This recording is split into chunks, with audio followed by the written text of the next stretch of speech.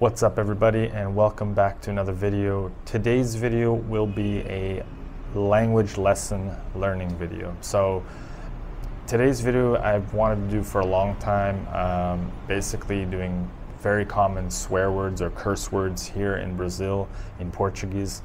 Now, many cultures have their own curse words or swear words. You know, in English we have many, many. Um, I'm sure every language around the world has some kind of curse word or uh, offensive word to call somebody else or just to simply yell out. Now, here in Brazil is no exception. And I learned a lot of these words many years ago growing up uh, le learning Portuguese, European Portuguese essentially. But a lot of these words obviously came from you know the origin country, which is Portugal. So um, this video will probably take a few out a uh, few cuts to do, you know, a few takes um, because of me laughing and speaking these words. A word of warning: if you get if you are a person who gets really easily offended, this video is probably not for you. So just a uh, you know a, a, word of warning to you. So I'm going to do a list of the most 10 common uh, words or phrases here, uh, curse words, swear words here in Brazil. Now, just before I get started, if you've already been here to Brazil, you might have heard a lot of these words spoken uh, on the streets or between phone calls or whatever. A lot of them tend to be normalcies in everyday conversation, day to day conversation. So it's not always the fact, same thing in English, I guess, with swear words. It's not always like to be, to offend somebody, you know, it's kind of like now part of their lexicon and, and that's the way they converse with friends or really close uh, you know, colleagues, even family members. So that's how basically it goes down here in Brazil. So let's get started with number one of the list of 10. So the first one on the list is foda-se. Foda-se. I'll put it down so you can see how it's spelled. Um, this is the pronunciation, foda-se. Or you could also, there's also another rendition of foda-se I think it's just the sound is a little bit different. Uh, Portuguese people tend to close their vowels, so it, it, it, tends to be foods, you know, all one word. But the correct spelling is in, is uh, listed below, and this essentially is like saying "fuck it," you know, ah, for this, like fuck it, you know. So very very common one used here, obviously. Uh, it's it's pretty hilarious. So that's the number one. Let's go to number two. So the next word on the list, which is probably, I'd say the top three most used ones that I've heard, you know, from experience, and that word is caralho. Caralho. Um, which essentially means like damn it, um, or saying like fuck, damn it. I, I would say that's the most accurate way to you know, uh, translate to English. A lot of these words, by the way, don't have an exact translation. Some do and some don't. Um, it kind of goes gets lost in translation, I would say. A lot of these words, uh, for sure.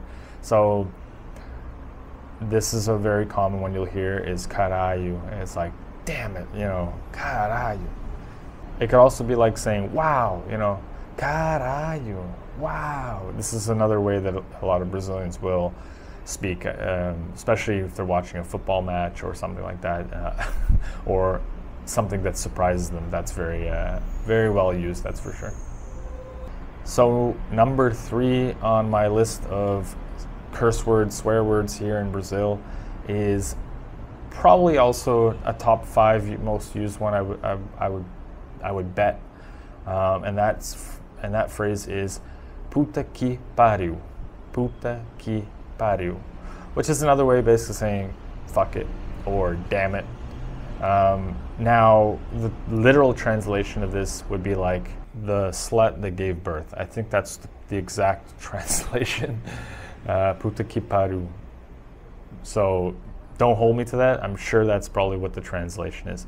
Um, but it's if you use this phrase, it would be like damn it or fuck it, something like that. So yeah, that's that's a good, very commonly one I hear here in Brazil for sure. Number four on the list, also very common. I'm sure all of these are used a lot. Um, and this would be filho da puta. Filho da puta. Um, very, has the exact same translation in English, son of a bitch. I'm sure you guys have heard it probably in Spanish as well. It's very, very, very, very similar. Um, yeah, this one is not exactly a complimentary one. This is more if you want to offend somebody, that's for sure. Same thing in English. Um, you will hear this quite a bit. Um, try using it if you get angry with somebody here while you're in Brazil. If you if you feel comfortable uh, getting into an altercation, um, I don't recommend it. But if you need to, if you need to express yourself, these words are going to help you a lot. That's for sure. Number five on the list is very common one, uh, simple one, and that word is merda. Merda. Um, obviously, shit, you know, same thing. Um, in this context, it's pretty much used the same way in English if you were to like, if something bad happened or whatever, you say, merda, que merda, you know, what shit, you know, something like that. Um, in English, you would just say shit, but in Brazil, when it, most cases it would be like que merda, oh, that's shit, you know, something like that. Um, so definitely you'll hear this one a lot too. Uh, there's no doubt in my mind. Number six on the list is, I hear this one probably more than all of them, I would say. And there's different variations. There's one that's kind of like very offensive, and there's one that's they use kind of. I'll, I'll, I'll, I'll demonstrate the difference. So the word is porra, porra. This is the pronunciation in Brazil, obviously, because they don't um, they don't pronounce the R sounds like they do in Portugal, which would be like porra, porra. That would be the, the European Portuguese. But here you would hear, you will hear porra, porra. Sounds almost like there's an H sound in the middle of the word. Um, the literal translation of this is basically jizz. Um, yeah, uh, you heard that correctly. Uh, but the the usage of it would be kind of like, damn it, you know, porra. It's like, damn it. So that's the contextual um, element of this of this uh, swear word. Now, the other version of it, which is kind of like the, the least the least strong offensive, and would be between like friends or close people who are close to you. You'll hear kind of like a soft sounding one, which would be like "bull," bowl, it would they wouldn't say the whole word. And this is kind of like saying, darn, you know, it's kind of a less less strong uh, offensive word. It's not an offensive word in this case. If you're like, bowl amigo, you know, it, you, you'll hear that. So listen for the difference here in Brazil when you're here. You'll hear the difference. Take some time, but you will hear the difference for sure.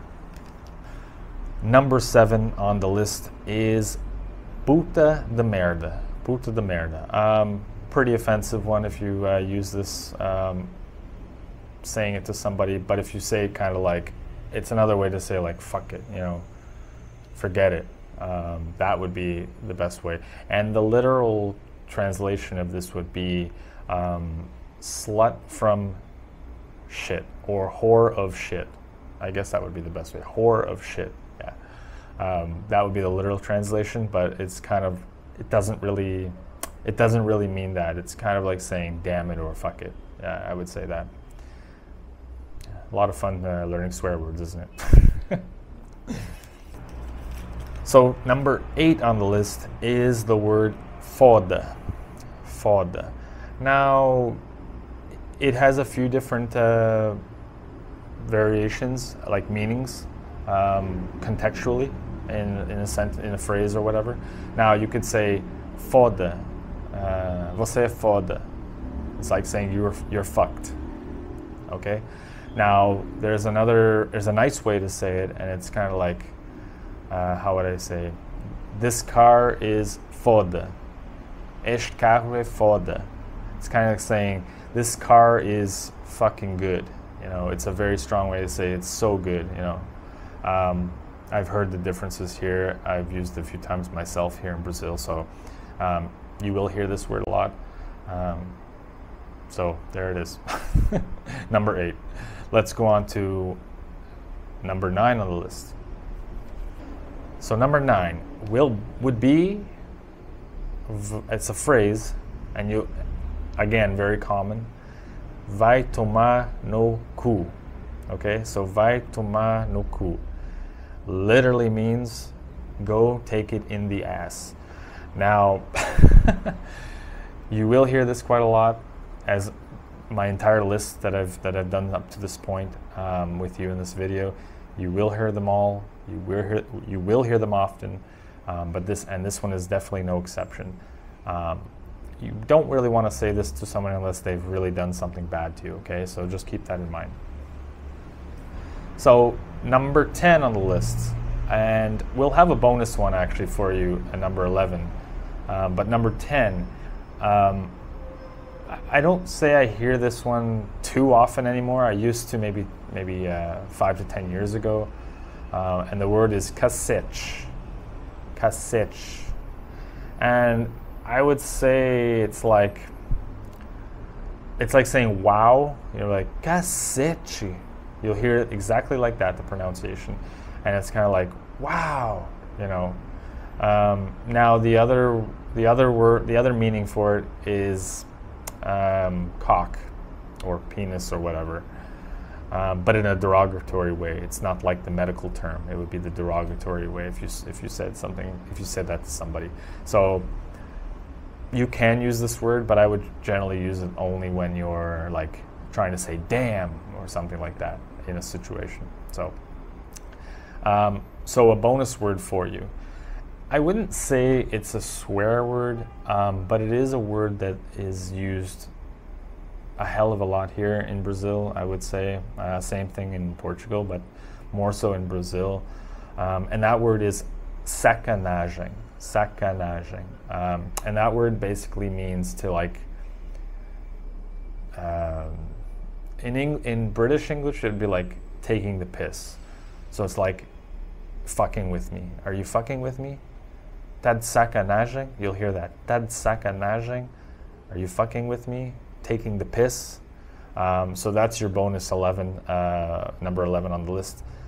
Um, it really took me quite a bit of time to do this video because I was just laughing every single time. So um, I won't share the outtakes. It was just trying to keep a straight face through saying these words. You know, once you learn Portuguese and you learn the swear words um, that go along with the language, just like any other language, um, it's really, really a lot of fun to utilize it in your everyday, uh, you know, conversations with people you know here, especially if you're in Brazil long term or whatnot.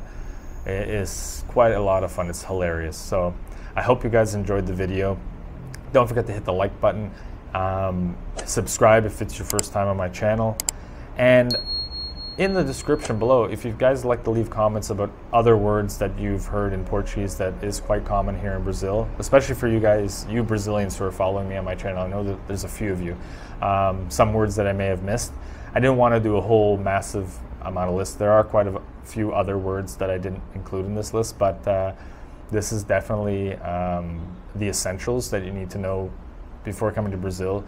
And don't think that the thing that I find which is associated with people is that uh, it's uneducated people that use these words. It's totally not true here in Brazil.